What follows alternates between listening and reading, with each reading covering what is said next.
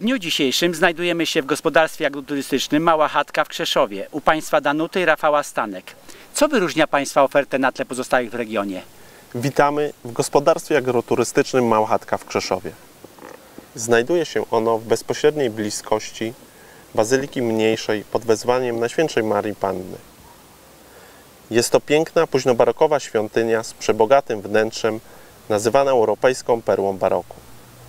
Nasza działalność agroturystyczna jest prowadzona dopiero od półtorej roku. Domek jest położony przy ulicy Cysterskiej w spokojnej okolicy na działce z ogrodem. Dysponujemy trzema pokojami, w każdym jest łazienka. W chatce jest aneks kuchenno-jadalny wraz z kominkiem oraz dostęp do bezprzewodowego internetu.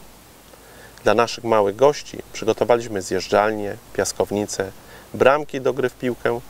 Ponadto agroturystom oferujemy boisko do gry w siatkówkę i badmintona, huśtawki, miejsca do wypoczynku nad parasolem, leżaki, altanę ogrodową, a także rowery. W sezonie zimowym wypożyczamy narty zjazdowe i wskażemy stoki narciarskie.